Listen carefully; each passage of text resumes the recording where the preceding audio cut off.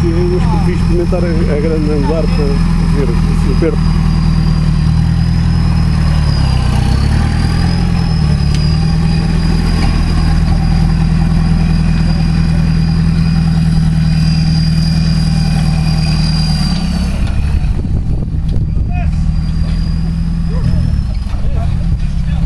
Agora,